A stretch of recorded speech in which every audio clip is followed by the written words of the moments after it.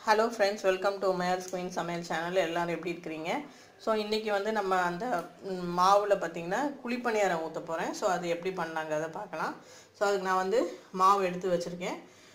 ஒரே ஒரு medium size பெரிய வெங்காயம் ஒரே ஒரு பச்சை மிளகா கொஞ்சோண்டு கருவேப்பிலை மல்லித்தலை ஸோ இதெல்லாமே நம்ம போட்டு எண்ணெயில் வதக்கிட்டு நம்ம மாவில் ஊற்றிட்டு குழிப்பணியார சட்டியில் வந்து பணியாரமாக ஊற்றிக்கலாம் நீங்கள் வேணும்னா இதில் தேங்காய் கூட ஆட் பண்ணிக்கலாம். நான் இன்றைக்கி ஆட் பண்ணல. தேங்காய் ஆட் பண்ணாலும் நல்லாயிருக்கும்.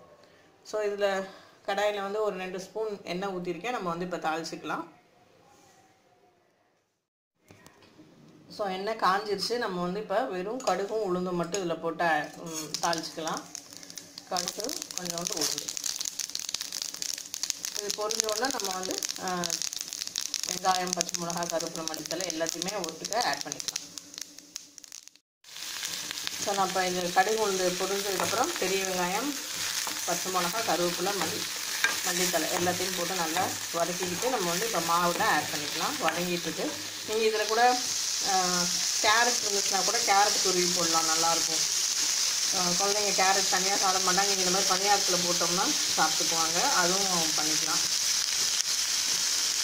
ஸோ இந்த ஒரு மாவில் வந்து ஆப்பம் பார்த்துட்டோம். இது குழி பணியாரம் ஆஸ் யூஸ்வல் நம்ம வந்து நீங்கள் தோசையாக கூட ஊற்றிக்கலாம் ஸோ ஆப்பத்துக்கு சைட் டிஷ் கடலைக்கறி கடலை குழம்பு அந்த நாட்டு சக்கரை போட்டு தேங்காய் பால் நல்லாயிருக்கும் கண்டிப்பாக ட்ரை பண்ணுங்கள் இதுக்கு வந்து கார சட்னி. எரி எனி கார சட்னி தக்காளி சட்னி வெங்காய சட்னி அந்த மாதிரி ஏதாவது காரமாக இருந்துச்சுன்னா இது நல்லாயிருக்கும் ஸோ இப்போ இதை வந்து மாவில் நம்ம ட்ரான்ஸ்ஃபர் பண்ணிக்கலாம். ஸோ மாவில் நம்ம தாளிச்சதெல்லாம் கொட்டிட்டேங்க. ஓரளவுக்கு இந்த மாதிரி கெட்டியாக இருக்கணும். ரொம்ப நம்ம மா ஆப்ப மாவு கன்சிஸ்டன்சி இருக்கக்கூடாது. கொஞ்சம் கெட்டியாக இருக்கணும். இப்போ வந்து நம்ம வந்து புளிப்பனையார் சட்டியில் எண்ணெய் எண்ணெய் ஊற்றி வச்சுருக்கேன். நம்ம வந்து இப்போ கொஞ்சம் கொஞ்சமாக ஊற்றிக்கலாம் அதில்.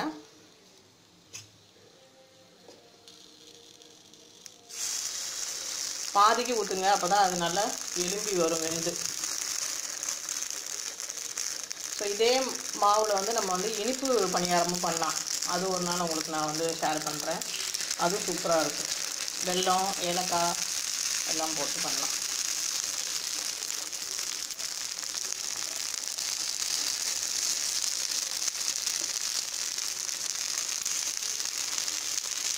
ஊற்றி வச்சு நம்ம வந்து இப்போ மூடி வச்சிடலாம். வெந்ததுக்கப்புறம் நம்ம வந்து ஓப்பன் பண்ணிக்கலாம்.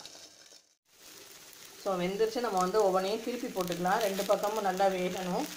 ஸோ திருப்பி போட்டுக்கலாம்.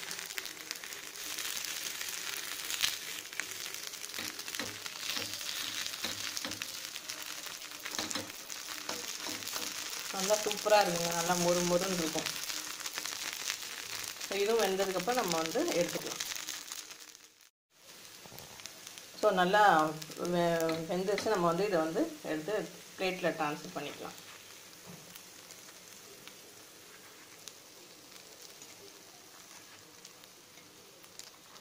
ரொம்ப சூப்பராக இருக்கும். கண்டிப்பாக நீங்கள் ட்ரை பண்ணிவிட்டு எப்படி வந்துச்சுங்கிறத சொல்லுங்கள் ஈவினிங் ஸ்நாக்ஸாக கூட நம்ம வந்து இதை செஞ்சு கொடுக்கலாம்.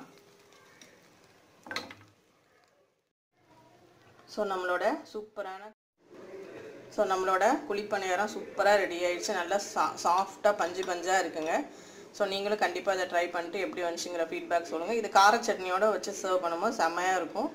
ஸோ ட்ரை பண்ணிட்டு எப்படி வந்துச்சுங்கிற கமெண்ட் சொல்லுங்கள் உங்களுக்கு நம்மளோட சேனல் உமையார் ஸ்க்ரீன் சமையல் சேனல் பிடிச்சிருந்துச்சுன்னா லைக் பண்ணுங்கள் ஷேர் பண்ணுங்கள் சப்ஸ்கிரைப் பண்ணுங்கள் உங்களை அடுத்த ஒரு இன்ட்ரெஸ்டிங்கான வீடியோவில் மீட் பண்ணுறேன் பாய் டேக் கேர்